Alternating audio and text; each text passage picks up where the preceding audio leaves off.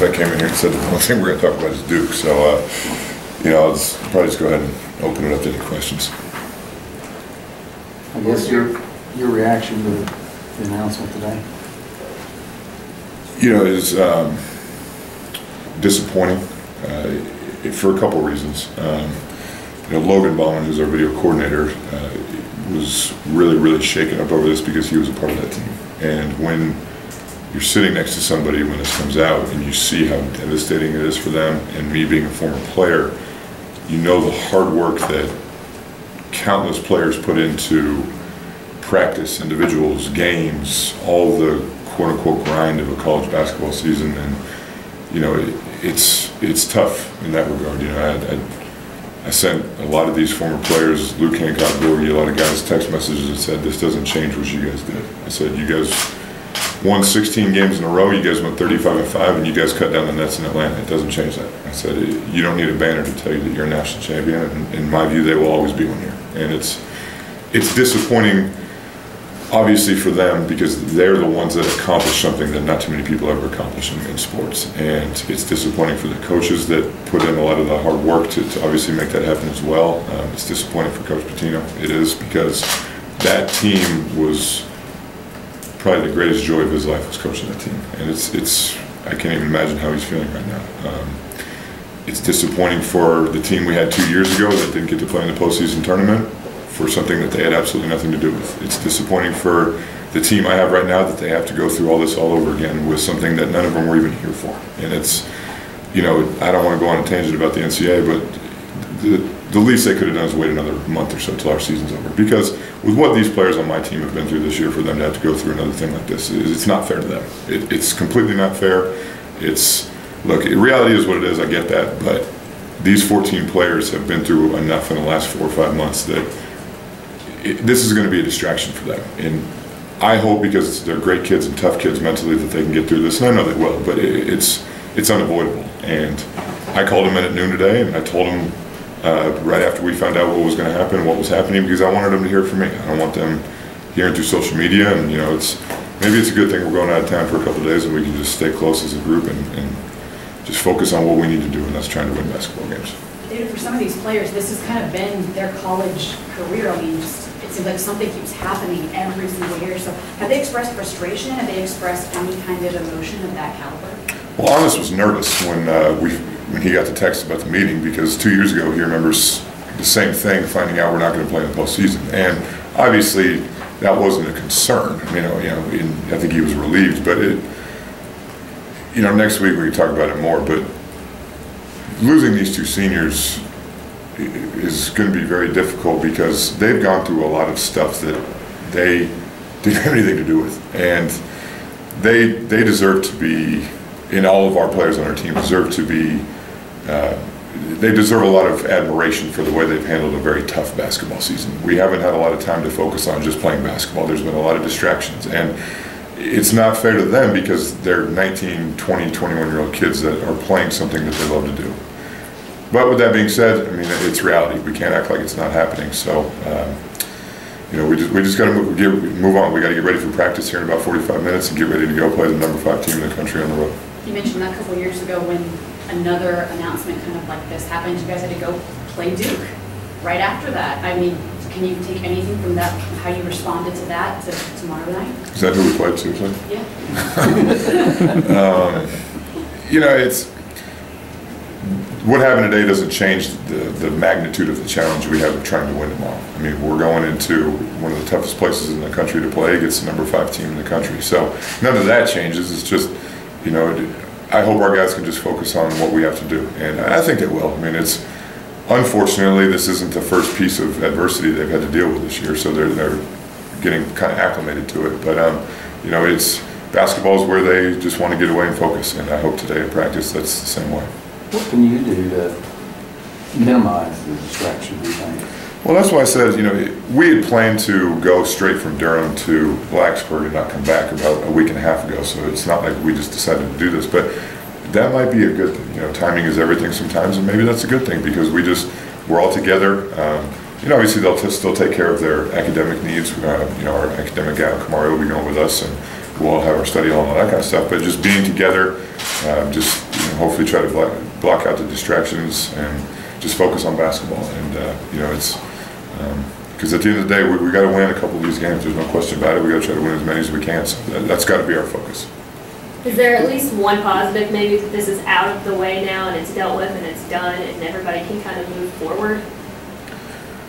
Yeah, I mean, it's good that there's closure, I think, for, for everybody involved. Um, it's not the closure we were hoping for, obviously, but, uh, you know, it's, this too in time shall pass, I guess. It'll probably take a long time. Uh, but, you know, I just, at, the end of the day, it's, I just want all of our former players that, that were here and to know that it doesn't change what they accomplished. And I think Dr. Postel and Vince both said that today, and it, it, I firmly believe that. I mean, it's, you know, you don't need a banner to tell you that you are a national champion. And I, I just want all of our former players to know that. And it's, um, you know, it's disappointing that they have to suffer because of the actions of a very select few individuals. But, um, you know, sometimes life just throws you curveballs and you just got to react to them.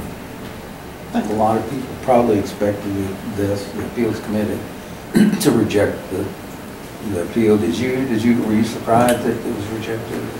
You know, I I didn't know enough about the facts of the case. So, you know, I wasn't, obviously wasn't privy to a ton of the information. Um, I wasn't at any of the appeal hearings or any of that stuff. So, you know, I, I'm really just kind of an outsider looking in, believe it or not. It probably sounds crazy, but it, it, um, probably one of those situations where you certainly hope for the best, but you have to expect the worst. And, um, you know, it, just another tough day. But with that, with that being said, um, my job as a basketball coach of this team is to get these guys ready to play tomorrow. And, uh, you know, it's, if we can come out tomorrow and, and get upset on the road, maybe that'll help soothe a lot of people out there.